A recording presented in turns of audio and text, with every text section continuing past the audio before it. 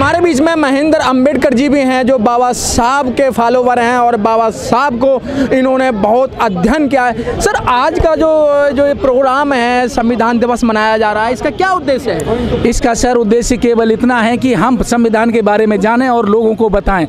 संविधान में जो अधिकार हमें दिए गए हैं, हमें उनके बारे में, हमारे लोगों को और देश के लोगों को उसके बारे में बहुत ज़्यादा जानकारियाँ नहीं हैं। संविधान हमें वो चीज़ देता है जो हमें, हमारे विकास के विकास के रास्ते में हर चीज़ मुहैया कराता है, हमें एक ऐसा पटल मुहैया कराता है जो हमारे विकास को शिक्षा के माध्यम से आगे तक ले जाने में हमें अहम रोल निभाता है। तो संविधान में जो जो शक्तियाँ जो जो अधिकार हमारे नागरिकों के दिए हुए हैं, हमें उन अधिकारों को समझना समझना बहुत ज़रूरी है।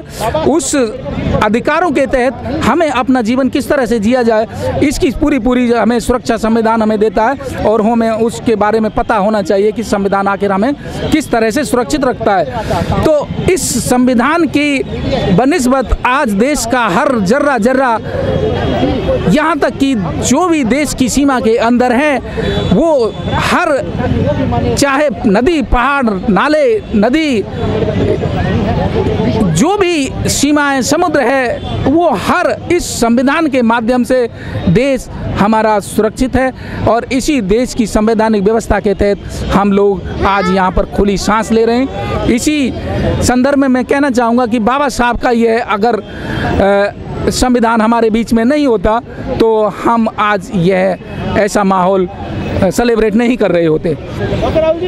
हम बाबा साहब के इस अनुपम भेंट को, अनुपम उपहार को, जो दुनिया की सर्वोत्तम पुस्तक कहा जाता है सब भारतीय संविधान, उसको संरक्षित रखने की पूरी पूरी हम ज़िम्मेदारी समझते हैं। हर नागरिक की ज़िम्मेदारी है।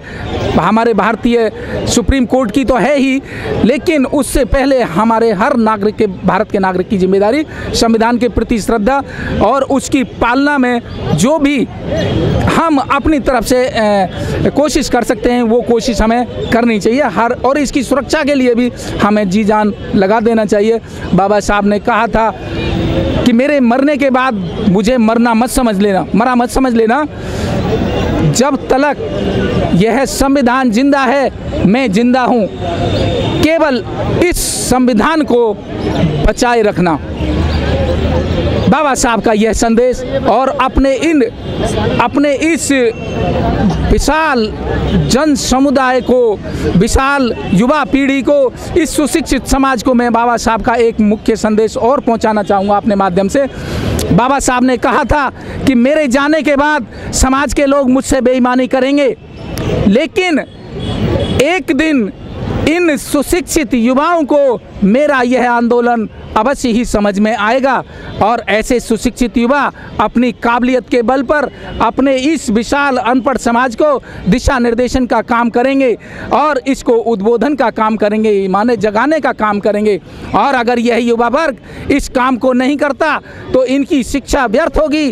और यदि ऐसे युवा जो इस काम को नहीं करते हैं, मेरे समाज में होंगे तो मेरे जैसा अभागा आदमी इस दुनिया में कोई और नहीं होगा। सोचिए, अगर आज बाबा साहब ने हमसे ये अपेक्षा की थी तो हमारी ज़िम्मेदारी बनती है कि हाँ आज हम सुशिक्षित हो चुके हैं। हर आदमी यहाँ पर जो एक ग्रेजुएशन की शिक्षा ले लेता है, वो सुशिक्षित माना जाता है। तो आज की डेट में इतना सुशिक्षित होना बहुत काफ़ी है। मैं समझता हूँ कि इतना ही आज हर सुशिक्षित युवा की ये ज़िम्मेदारी बनती है कि हम बाबा साहब के इस संदेश के महत्व को समझें और अब लोगों को जागरूक करने में अपना सहयोग करें।